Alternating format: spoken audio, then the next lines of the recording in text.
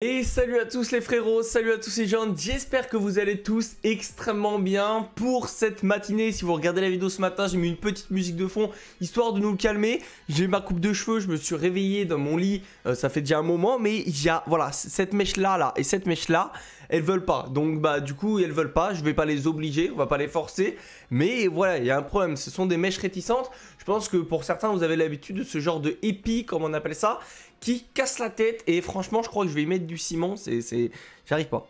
j'ai beau essayer ce que je peux. J'y arrive pas. Deuxième chose, il y a le voisin euh, qui, qui, arrive pas à démarrer sa voiture. Il fait un bruit de fou. J'espère qu'il va pas nous casser la tête. Donc, du coup, les gars, on est parti aujourd'hui parler des news sur Dragon Ball Legends. Et surtout, parler de ce qui va peut-être arriver demain. Même sûr, ça arrive demain. Notamment avec un Zenkai qui était on ne peut plus attendu. Sans doute un des Zenkai les plus attendus du jeu. Oui, et ça, c'est pas une blague, j'en avais déjà parlé en live pour vous dire que euh, ça serait sans doute pour moi une semaine assez importante dans le pré-anniversaire parce qu'on arrive à, ça se trouve, peut-être la dernière mise à jour avant l'anniversaire. Pourquoi? Parce que si les portails sortent le 28, je vois pas avoir une mise à jour mercredi et le 28. Ça fait mercredi et samedi. Ça ferait deux mises à jour. Alors en vrai, c'est possible aussi. C'est du 50-50, mais euh, donc c'est peut-être l'avant-dernière mise à jour. En tout cas, ça c'est sûr. Donc du coup, bah, dans ce cas-là, euh, on arrive très très vite à l'anniversaire de 1, de 2. On aura peut-être quelques teasings qui vont être mis en place cette fois-ci pour nous commencer à vraiment rentrer dans le vif du sujet, que ce soit peut-être avec la story ou même euh, bah, clairement avec des titres, avec des enkai. Enfin, il y a plein de choses qui peuvent rentrer en jeu. Donc, Là, on a eu l'annonce d'un Zenkai, tout simplement. Annonce d'un Zenkai, et quel est ce Zenkai? Vous l'avez vu, de toute façon, sais rien que j'ai assez Vous l'avez vu, les gars, ce Zenkai, c'est nul autre que... Oui Vegeta Blue, les gars Vegeta Blue du premier anniversaire Oui, c'est bien lui. Oui, on a eu Goku Blue. On attendait Vegeta Blue, je pense, plus de un an et demi quasiment après le Zenkai de Vegeta Blue. Oui, le Zenkai, on a tous dit, on a tous fait des vidéos. Tous les influenceurs, tous les youtubeurs, si vous voulez, des gens en ont parlé de se dire putain, si lui il arrive, Zenkai, c'est le retour de la fin des persos verts. Oui, ce personnage a marqué le jeu. Vraiment, il a marqué le jeu, les gars. Vraiment, c'est très important d'en parler. Parce que, bah, à sa sortie, les persos verts ne pouvaient pas exister. En tout cas, les persos verts, quand euh, il était dans les teams, ne pouvait quasiment pas exister. Pour ceux qui se rappellent pas du kit, on va aller le voir. Pour ceux qui, qui s'imaginent pas de ces intégrations possibles, on va aller le voir. Mais c'est vraiment pour moi. En vrai, je m'en fous, je trouve c'est une bonne nouvelle. Franchement, pour la hype, pour le flow, pour tout ce que vous voulez, et même franchement pour la lignée royale de Vegeta, je trouve c'est une bonne chose. Lignée royale de Vegeta, on peut pas me dire que la team est forte. Ok, Team Ki Divin, en violet, je pense sincèrement qu'il a sa place. Parce que le tag en qui divin, c'est pas le même personnage. Et en plus de ça, derrière, vous avez Whis, qui est pas non plus le perso de l'année. Donc, il a une place. Il a clairement une place ici. Pour moi, il a une place de fou. Vegeta vert, Vegeta violet, Goku Ultra, ça peut être très fort. Donc, pour moi, il a une place vraiment exceptionnelle dans cette team-là. Donc, on va voir si, euh, déjà, qu'est-ce que ça va changer. Tout simplement déjà après son éveil avec le main de Vegeta, maintenant vous allez pouvoir euh, régénérer votre ki et ça c'est extrêmement important. Vous le verrez pourquoi. Euh, parce que le personnage il a une, aptitude avec l'ulti qui est quand même assez intéressante. Et en plus de ça, si vous débloquez tous ces passifs, vous aurez un boost de dégâts contre les tags LOE et également un bonus de soins. Alors, moi je trouve que c'est bien. Je trouve que c'est encourageant. on ne sait pas ce qu'il va faire, ça se trouve, va être nul le Zenkai, mais c'est encourageant. Déjà, pour maintenant, pourquoi c'est encourageant? Parce que le Zenkai de Great était intéressant, première chose. Deuxième chose, parce que bah, le euh, l'anti-tag LOE, moi je dis oui, hein. franchement, moi je dis oui. Euh, il va tout simplement dépop les Golden Verts. Ça, j'en suis persuadé, je vous le dis déjà maintenant tout de suite. Les Golden Verts, il va les deux, il va les deux cartes. Selon moi, un Golden Vert 8 étoiles dans la team que je vais vous montrer après, là, après ce qu'on parle, je vais, on va retourner sur le jeu, je vais vous montrer une team. Pour moi, il va le 2 strike. Peut-être que je me trompe, mais j'y crois pas beaucoup. Vraiment, je, vous dis, ça va être n'importe quoi. Donc ça, c'est quand même plutôt sympathique. Parce que du coup, euh, je rappelle, ils l'ont fait avec Vegeta LF Vegeta LF son but, c'était, tu fais une erreur, il t'attrape avec une carte, mais une petite est mort. Ok, c'était le but de, de Vegeta Vert quand il est sorti. Et ben lui, c'était un peu la même chose. C'est-à-dire quand il fait, tu fais une petite erreur de laisser un vert sur le terrain, bah euh, du coup lui il arrive et il le détruit. Et ça va, si jamais il est fort le perso, ça change énormément de choses dans le match-up, enfin dans, la manière et dans le gameplay d'une game. Parce que dès que vous faites rentrer votre verre, il faut absolument que vous pensez à ce que Vegeta en face ne soit pas disponible et ne puisse pas vous attraper. Parce que si jamais il vous attrape, vous êtes lock, mais inutile c'est trop. De toute façon, le lock pour moi, je vous dis, hein, le, je sais pas si vous êtes d'accord avec moi, mais le lock pour moi, c'est la meilleure mécanique du jeu. Pour moi, le lock, c'est la meilleure mécanique du jeu. Il n'y a rien de plus fort que le lock, parce que si tu lock un personnage avec l'avantage type, et eh ben tu as la deuxième chose la plus forte qui arrive directement après, c'est l'avantage type. L'avantage type dans le jeu, c'est complètement pété du cul, euh, mais il y a quelques contres avec des nullifications quoi. Le lock, aucune nullification au lock n'existe.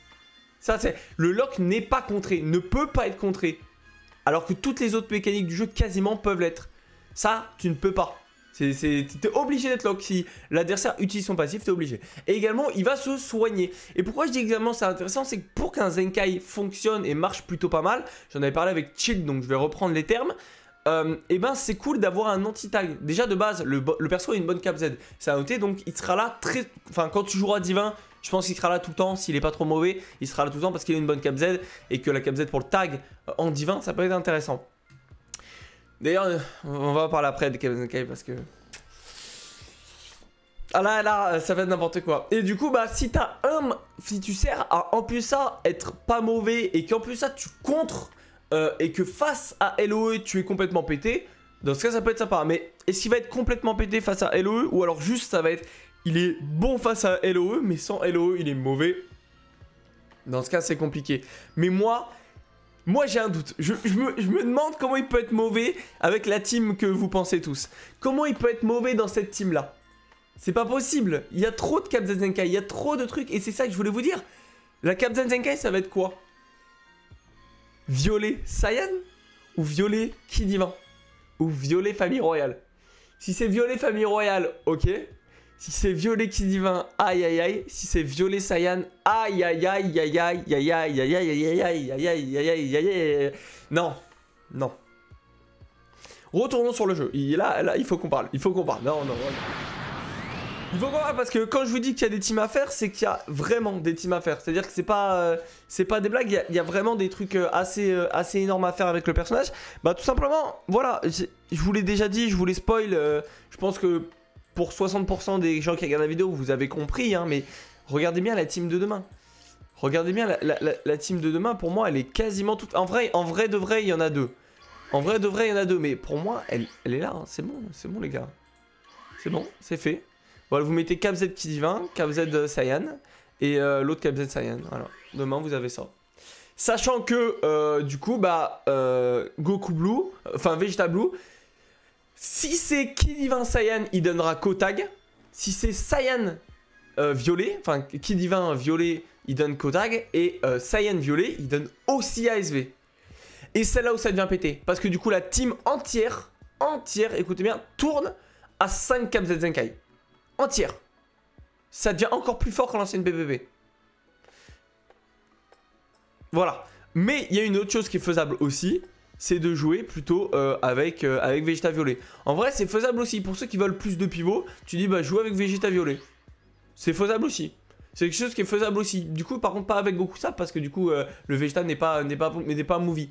Mais ça, ça va être fort, un double Vegeta Violet. Et pourquoi ça va être fort, les gars, aussi? Pourquoi je voulais vous en parler?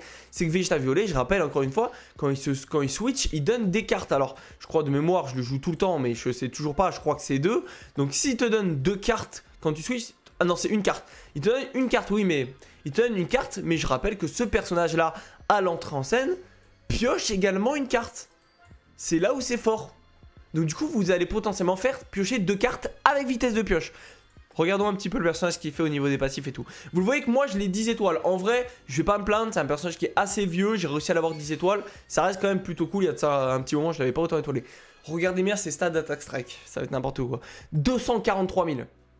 C'est-à-dire qu'après son 5K, je pense qu'il va toucher personnellement les 285 000. Moi, je pense qu'ils vont, ils vont, ils vont le booster à mort en strike. On va taper du 283, 285 000. Il faut faire entrer le Power Creep des 4 ans. Le Power Creep des 4 ans, il commence par quoi? Par le premier Zenkai des 4 ans. Et le premier Zenkai des 4 ans, c'est lui. Pourquoi je m'explique?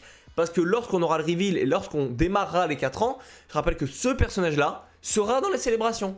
Vegeta violet sera dans la célébration. Alors, est-ce que le tag divin est mis en avant pour l'arrivée de Migaté Je sais pas. Je sais pas, je sais pas. Je, dis ça comme ça, je dis une bêtise.